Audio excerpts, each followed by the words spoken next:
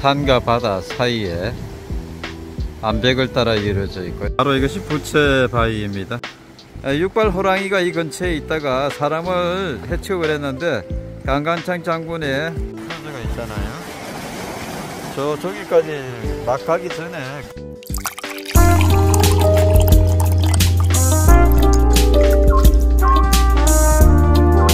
왔다. 와서 지내게 왔답니다. 왔다는 강원도 강릉시 강동면 헌화로 950-39번 길에 있는 정동 신곡 바다 부채길을 찾아가고 있습니다. 이곳은 강릉 해안도로를 따라 신곡항으로 가시면 됩니다. 신곡항에는 바다 부채길 주차장이 있으며 무료로 이용되고 있습니다. 그러나 이것이 만차일 경우에는 주변에 있는 공용 주차장을 이용하시면 됩니다.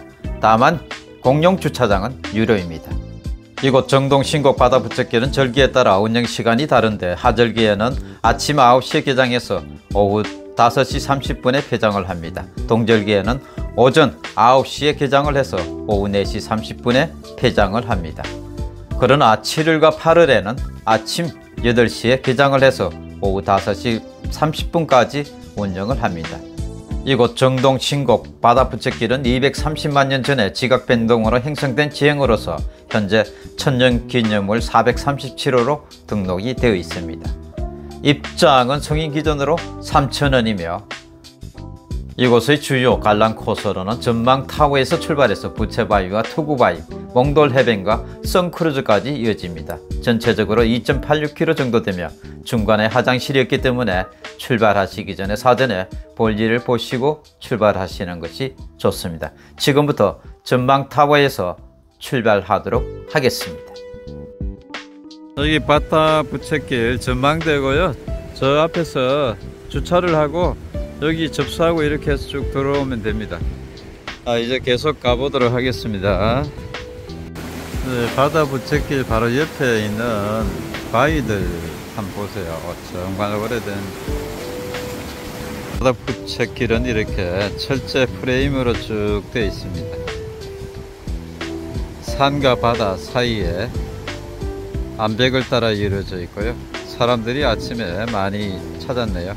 아 여기 바위 사이에 나무들 한번 보세요. 정말 멋있네요. 그리고 여기 길이 데크길이 어, 자연을 최소한 훼손하지 않고 있는 그대로 위에다가 철제 프레임을 지금 깔았네요. 어, 사이사이에 저 나무들 보세요. 바위 사이사이 텀텀에 끼어서 쭉 있고요. 많은 사람들이 지금 바다 부채길 구경하고 있고 이렇게 자연 그대로 있습니다.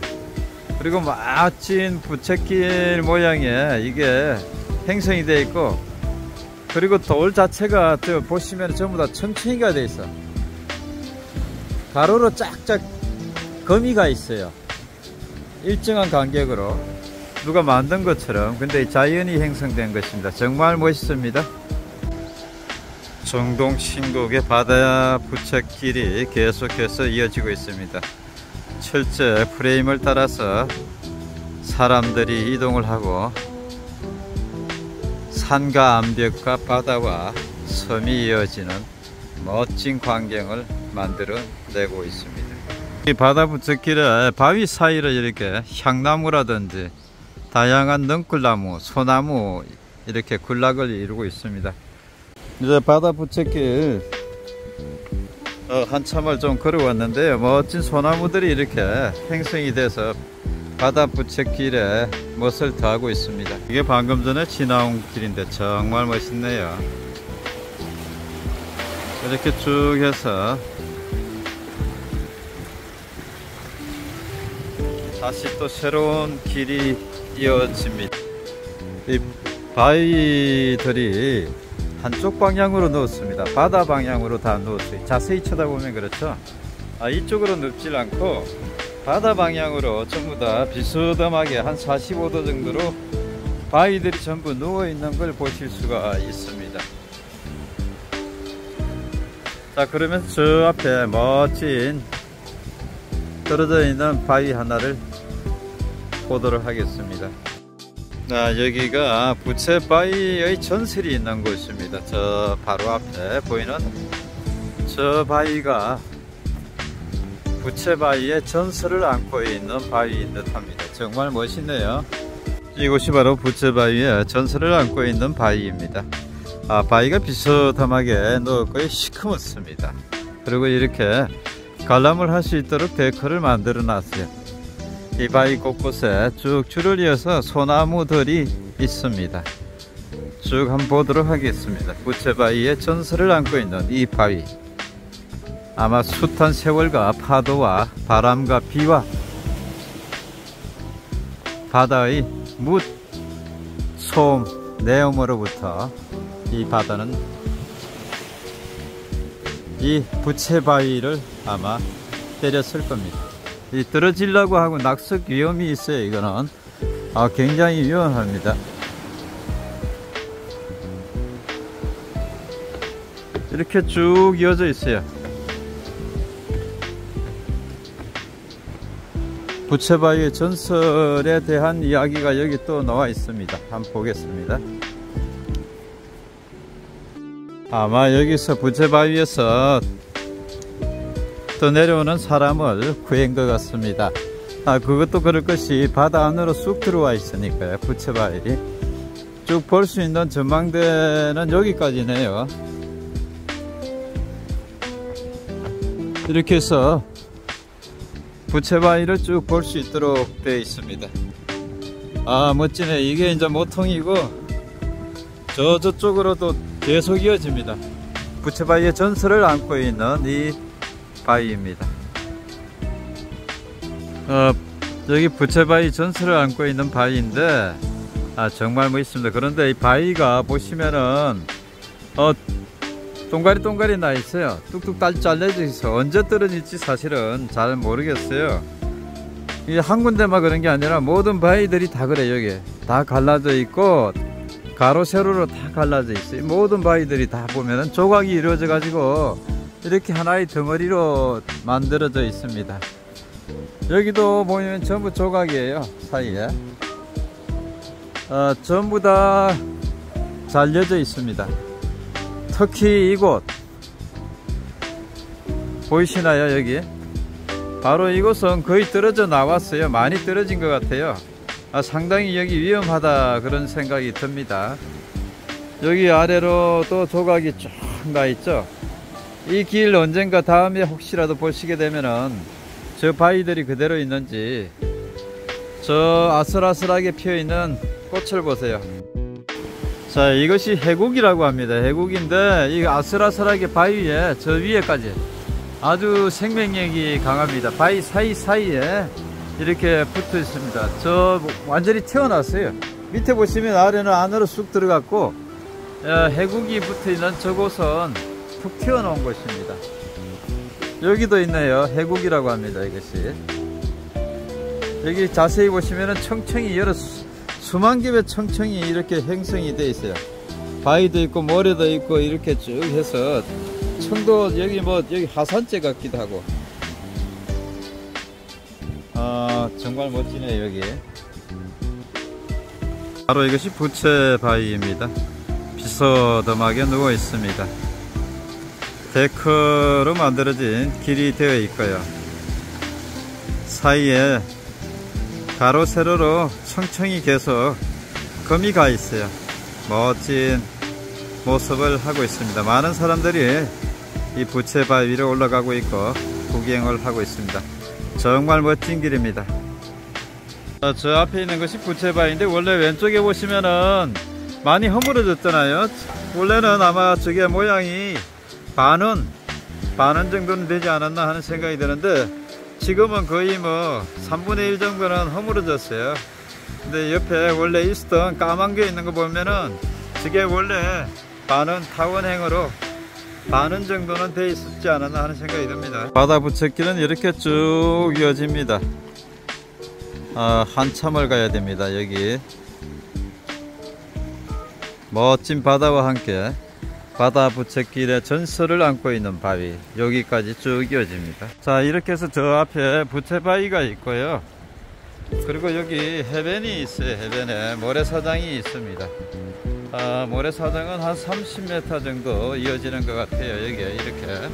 이렇게 이어지는데 저 별도로 내려갈 수 있는 길이 마련이 안 돼 있어요. 그래서 여기 부채길을 쭉 걸으면서 이 하늘로 내려가는 길은 없어요. 이렇게 지금 저도 데크클 위에서 지금 한 보고 있는 거거든요. 바로 여기 근데 모래가 행성이 돼 있어야 돼 있기는. 이 앞에는 뭔가 복잡하고 멋있어요 바위들이. 근데 조금 경사가 가팔러요. 낙석 위험도 있고. 아 멋지네요 예, 바다 부채길을 지금 한 3분의 2 지점까지는 온 것 같습니다. 전체적으로 한 2km 넘짓 된다고 했는데 지금 한 1300m 정도 온 것 같습니다. 여기가 복잡하면서 아주 멋있는 구간이에요. 여기 바위들도 진짜 멋있고 일단은 섬들이에요 섬들. 작은 바위 섬들 안에 들어와 있는데 진짜 멋있네요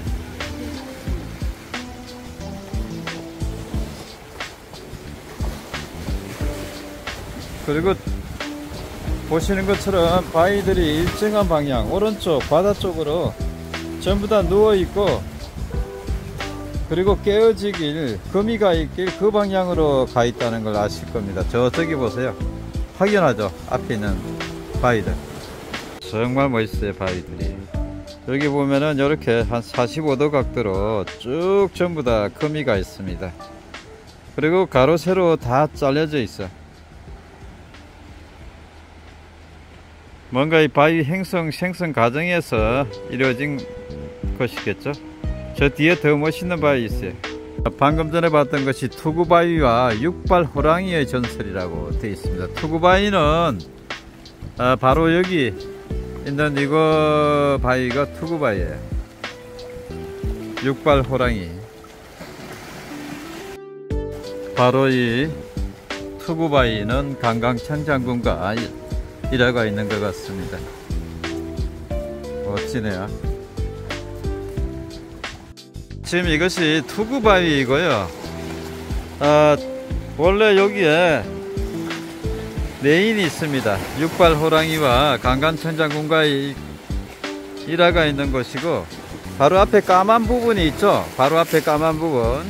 이 부분도 하나의 라인이고 뒤쪽에 보면은 이 투구바위를 쳐다보고 있는 듯한 이렇게 새처럼 두꺼비처럼 생겼죠 지금. 아, 이 바위도 별도로 있어요. 이렇게 해서 투구바위를 행성하고 있고 아, 육발 호랑이가 이 근처에 있다가 사람을 해치고 그랬는데 강간창 장군의 한마디에 놀라서 다시는 나타나지 않았다는 이야기가 있습니다. 투구바위. 앞에 보이는 것이 투구바위인데요. 강강천 장군과 뭔가 일화가 있는 거고요. 여섯 발 호랑이가 강강 장군 때문에 도망을 갔다. 다시 나타나지 않았다고 했는데 여기 보시면 여기에 이빨 빠진 것처럼 바위가 쑥 빠져나간 거예요. 저거 잘려 가지고. 보시면은 이 바위들이 전부 다 가로 세로로 쭉쭉 잘려져 있어요. 누군가가 잘라 놓은 것처럼. 여기 바위들이 전부 다 그렇게 행성이 되어 있습니다. 이것이 투구바위입니다 뒤쪽의 모습입니다. 여기 바위 사이가 틈이 많고 홈이 있다 보니까 막 전신에 여기 나무들이 뿌리를 내렸습니다. 결국은 저것이 바위가 나중에는 튀어나오는 결과가 되겠죠. 갈라지면서. 저 사이 보시면은 나무 뿌리들이 막 들어가 있어요.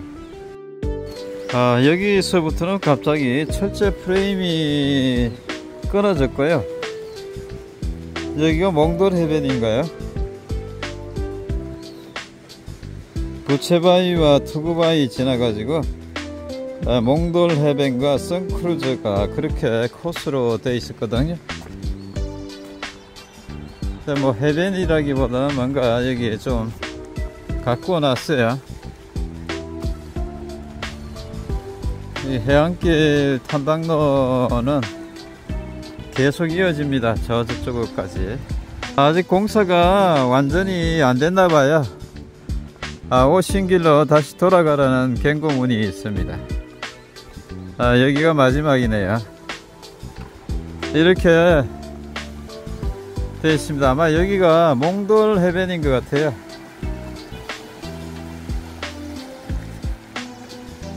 여기 관람할 수 있는 마지막 코스예요.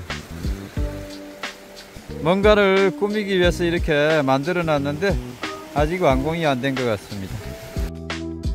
아마 이곳이 몽돌 해변인 것 같고요.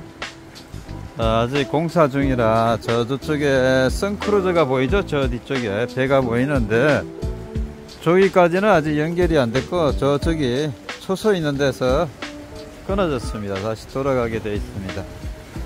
저 뒤쪽에 선크루즈가 보입니다.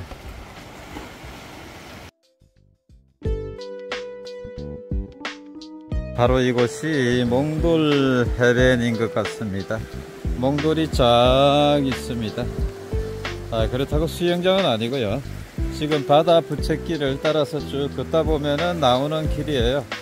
몽돌이 이렇게 쫙 있고 모래가 아주 한 1m 정도 넘게 쌓여 있고 그 이유는 바다예요 바다 몽돌 해변에서 신곡항까지는 2km 선크루즈까지는 0.9km 정도 되어 있고요 몽돌 해변의 시작은 여기입니다 모래가 여기에 있고 어, 아주 얇은 한 10m 내외에서 쭉 형성되어 있고 모래길은 보시는 것처럼 한 1, 2m 정도 그리고 수영은 할 수 없을 정도로 아주 바다에 바로 미역이 있습니다. 이 시커먼 거 있죠? 저 미역이에요.